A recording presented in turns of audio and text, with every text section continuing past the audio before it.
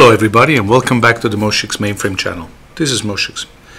We have spoken about MVS 3.8 Turnkey 4 minus uh, hundreds of times by now on this channel and you all know that uh, amazing Jürgen Winkelmann out of uh, Switzerland has put together this distribution because that's really what it is, a distribution. It's not just MVS, there's hundreds of other software packages installed on top, uh, available for the last uh, several years, and he's gone through several updates. Uh, we're now on update 8, 7, 6, 5, etc. Uh, and update 8 has been around for I want to say at this time maybe five, six, or maybe even seven years, and we have no indication if and when an update 9 is coming out. But what I want to say in this video is that this is a ready-made uh, image of MVS 3.8. However, back and as we all know, this uh, MVS 3.8 is now uh, a good 40, 43 years old. Uh, operating system works beautifully. We can do a lot of stuff with it, and we keep adding new and amazing functionalities to it. However, um, uh, back in the days, 43 years ago, uh, even to this day, um, you wouldn't just take an image from somebody, uh, even as uh, as virtuous and uh, prominent as Jürgen Winkelmann, and install it on your system because uh, this is a generalized uh, distribution. It fits many needs.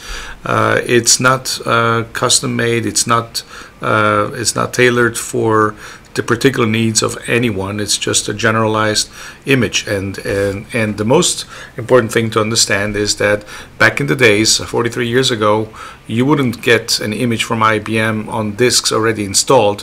What you would get are uh, were tapes and then you would have to go through the process of using those tapes to do a system generation as what it's called and generate your own MVS for your own very particular needs with your own very particular devices and with your own particular growth plan in terms of uh, terminals and disks etc something that would fit exactly your mainframe and your shop and your uh, park of devices and, uh, and, peripherals and, and, and what you are going to do with your MVS.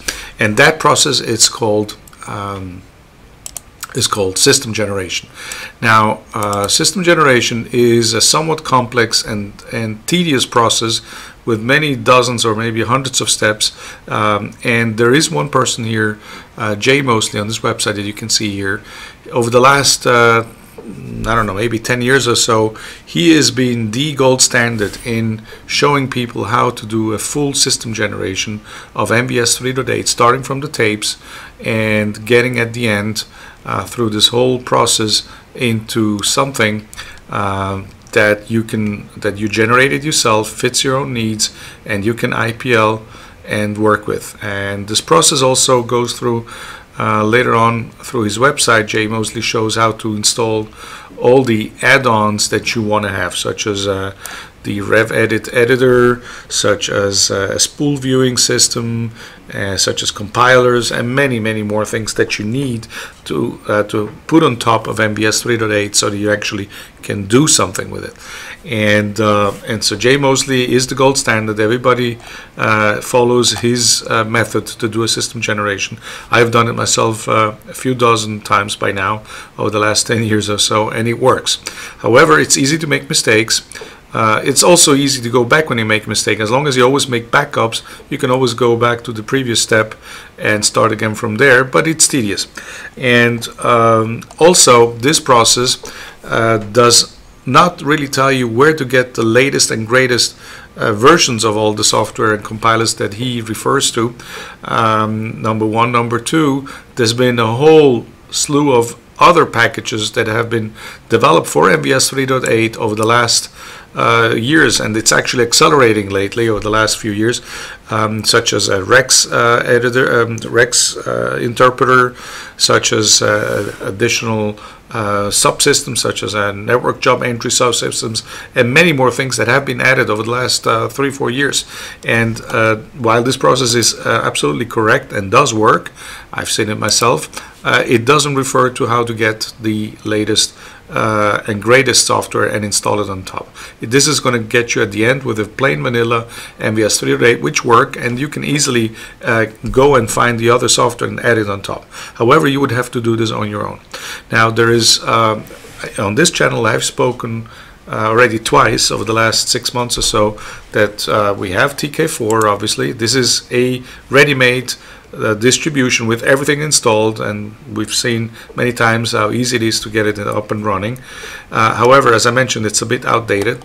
And then there is a gentleman called Rob Prins um, who has a TK4 Rob distribution of which I spoke about in this channel before um, where he puts all this additional software, did a sysgen, puts all this additional software, ISPF, um, uh, fixes for Algol, fixes for COBOL, everything on top that I just mentioned, and makes it available for you so that you have the latest and greatest software. That's one route to go. The other route to go is uh, something that has come up over the last year or two um, by a person called uh, Soldier of Fortran. I don't know if I can um, uh, mention his name here in this in this video or not, but uh, if you uh, Google Soldier of Fortran, you will find many mainframe contributions. Uh, He's a security analyst speci specifically for the mainframe, and he has done a lot of additional development for the community on top. One of the most enthusiast, uh, enthusiastic developers, and he put together what he calls, uh, together with some others in the community, he, they put together something they call MVS Community Edition. And the good thing with, that they've done is they've uh, they go through a whole system generation of MVS 3.8, but they do it fully automated. So basically, they take the Jay Moseley process to generate MVS 3.8, but they script it with uh, Python and Bash and some REXX even, and so that it's completely automated. And at each step, whatever new software needs to be installed, it goes to where the so software is located and gets the latest version of that software and installs it uh, on top of uh, MVS 3.8, so that if you run um, this Docker container here, you will always get the latest and greatest, and it's sysgent, meaning that there is no funny business. It's it's it's installed properly, and it works uh, nicely. And I've done it myself. Uh, and so it's it's really quite something what that they put together. And uh, every time there's a new release of some software somewhere, they will come out with a new uh, Docker version and a new um, uh, a, new, a new container that you can run. Now, some people like to run containers for the mainframe images. I don't. Um, while I work with Docker extensively at work, I don't like to run my mainframe images inside containers because I lose some of the visibility. Yes, you can of course log into a container and see what's running, but um, I like to have, instead of running with containers, I just have, I, I run something called screen um, which uh, or Tmux, which gives me virtual terminals, and then I run everything inside virtual terminals. That's just the way I work. But I also know that some people um, are not familiar with Docker. Some people may not be able to run it because yes, you can run kind of Docker on Windows or Mac OS, but it's not native there. Uh, you can do it, but it's a bit more convoluted.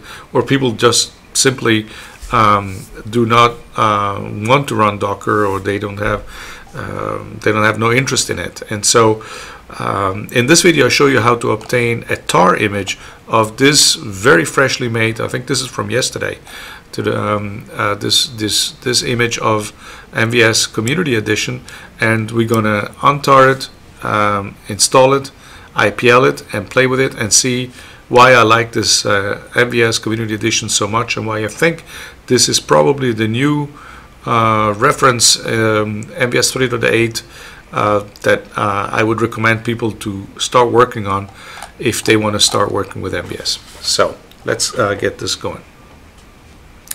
Um, there is, um, let me see here. Yeah, on uh, on this repository in GitHub, Sysgen, he has the release. They have the releases here, and the latest one from today or yesterday is version 2.0.2.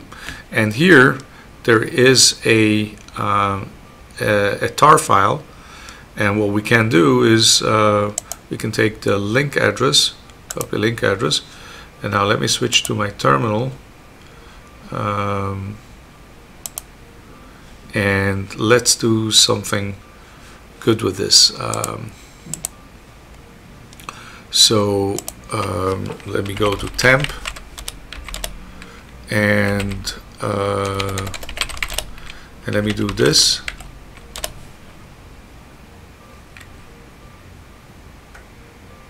Okay it's downloading. Let's see how big it is. It's about 180 megabytes which makes sense because there's a lot of stuff in there. Um, so now we can just untar this.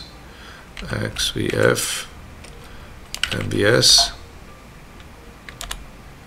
okay and so now we have this inside this directory all capital. And um, we can go into conf. Make this a little bit bigger. We can go into conf. Um,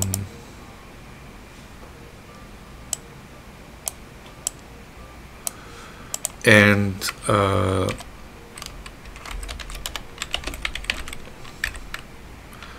local. And this will be the Hercules configuration. Um, and so I want to put this on uh, yeah no that's fine actually I think.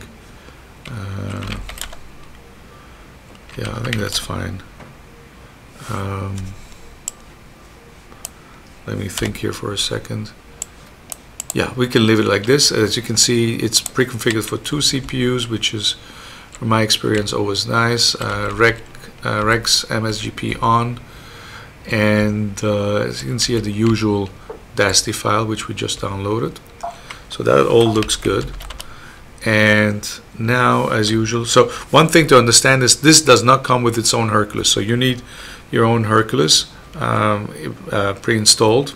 So what I would do here is now um, why don't I go to two terminals so we can see better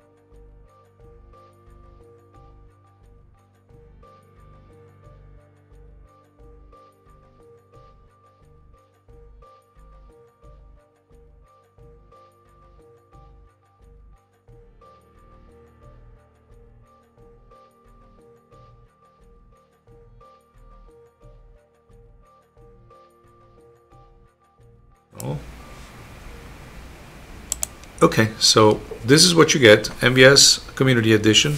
Welcome to MVS Community Edition based on the Jay Moseley Sysgen, exactly what we just saw before on the browser. Uh, the standard user is IBM user, and I believe the password is sys1. Yeah, perfect. So now we already see this is not our typical MVS TK4 from Jürgen Winkelmann because uh, this says run RX MVP list to see all list to see a list of all installable packages. So there is a package manager here for all the additional software we may want to install. And um, so um, and RX points to the fact that we have ISPF installed. So we can very easily verify, sorry, that we have BREXX installed, ISPF, and we get this beautiful screen, uh, which reminds us a lot of modern ZOS, but this is uh, still MVS 3.8. Uh, the ISPF that you see here is not the IBM proprietary ISPF. This is a clone uh, done painstakingly over 10 years by Wally here, who has recreated the whole the whole ISPF development environment, which is not just the editor. In fact, we don't even have the ISPF editor. Uh, we have, I think, a better editor, but it's the it's the environment where you can create those panels in CList in the scripting language of TSO and has environment variables and uh, and many facilities to create tables, etc. And so all this had to be recreated because uh, we don't have it. Uh, IBM does not release it to the community, and, and certainly not in open source. So uh, Wally went out and recreated that. So if you want to see if we have REXX installed, BREXX, you can see here we have BREXX version 2.5.2 and um, and any and to execute rex command you always have to put an rx for rex at the beginning of every command so that's why it says run r rx mvp for mvs package manager list and now will show us all the packages that we can install currently um, disk map for instance that's interesting um, uh, many more uh, RPF we can install, which is the Rob Prins um, interactive environment. So let's go and install something called RX MVP install disk map. Let's see what happens. Uh, if you see here, it's actually now executing some scripts on the underlying Mac OS to go get those packages and install them. Um, so well disk map is probably, oh MVP install disk map and if you uh, let's see what happens here. Yeah so it went and got the package and did a full MVS install. So it's really quite amazing and uh, well I think we have to call it from ISPF let's go here more for here and we should have a disk map now um, is it U? No. Is it uh, A? No. Uh, I think it's D.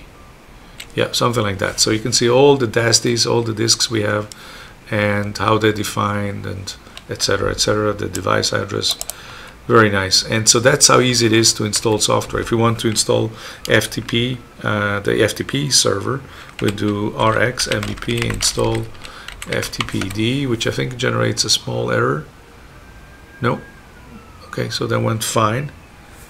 Um, no, it did generate a, a, very small errors, but it does run. Uh, FTPD has already started, and you could now connect with any FTP client. Um, let's see what else we got. Uh,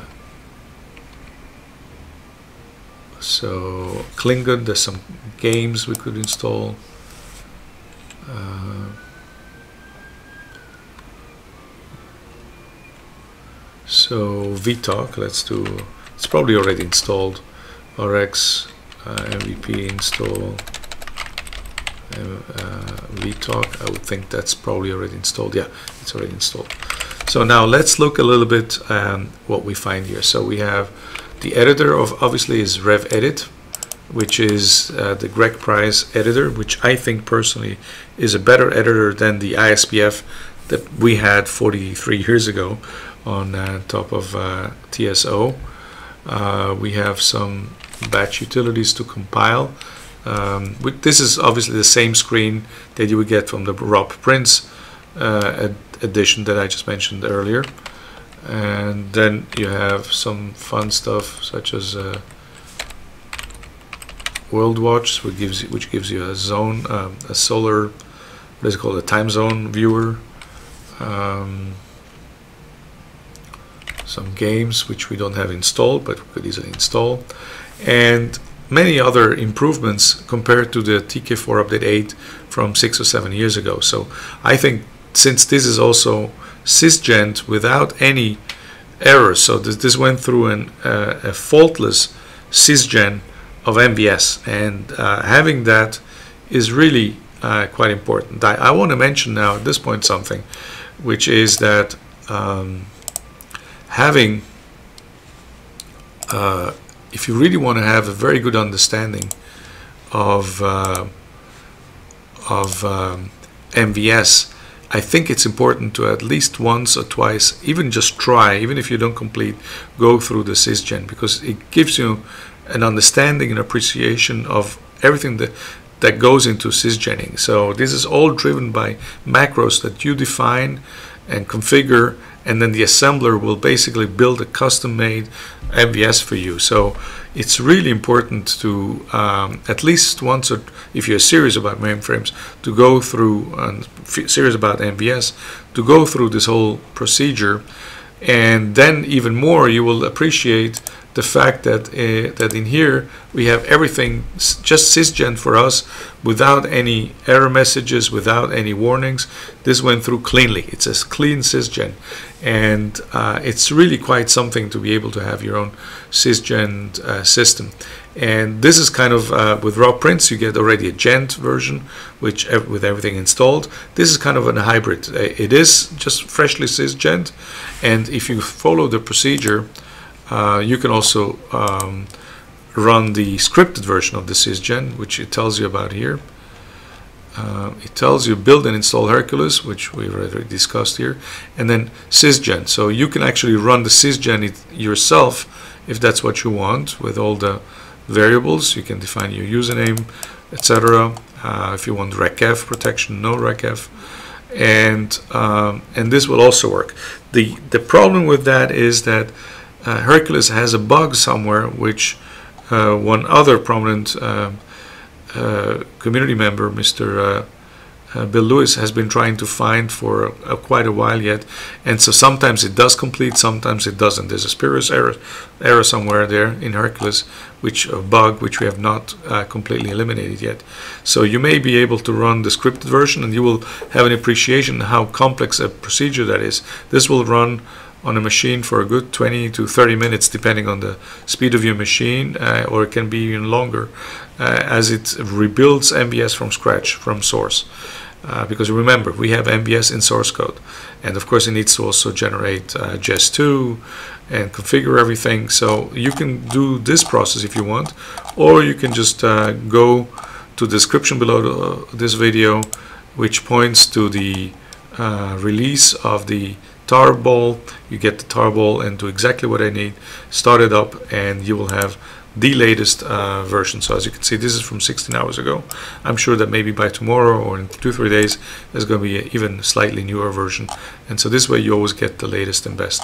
Um, and at some point I think it makes no sense to continue to always have the best and latest because in my particular case I have a lot of uh, jobs and software and uh, source code that I wrote myself on my MVS and I can't keep losing it. So obviously the proper way to do it would be to maybe attach an additional DASD and I have a video about it on this channel and maybe I'll link to it in the description below this video where you define an additional DASD, you put all your stuff in that DASD and if you change everything here uh, if you go to the next uh, the next newest version all you have to do is uh, copy your DASD over, attach it, and then off you go. So that would be kind of a um, that would be an in-between solution, a good uh, a good uh, way to get around this problem. But I, you know, I'm still on Hercules TK4 update 8 personally uh, because I have so much stuff in there and I don't want to lose anything. But I'm kind of seriously thinking right now to switch to MVS Community Edition because, uh, in my humble opinion, this is right now the best and greatest way to run MVS 3.8 on top of Hercules. It's solid, it works, everything is checked. Uh, there is an automatic build process on top of GitHub, and uh, there are very serious people behind this. Um, and also, it always gets the latest uh, version of all the additional software, such as REXX, such as uh, uh, Network Job Entry, etc., etc. And of, of course, also Greg Price, the the author of the editor keeps making uh, improvements and fixes uh, to that. And so um, it, I think it's really a painless and very simple and very fast way to move from something that's six or seven years old to something newer. Up to you but I really kind of like what's going on here. Anyway thank you for watching and uh, have a great time. Um, all the links that I mentioned are in the description below this video. If you have any questions drop me text uh, below this video in the comment section. And if you have not subscribed yet now would be great time to subscribe. And please do not forget to press on the like button um, so that Google makes it easier to find my video. Goodbye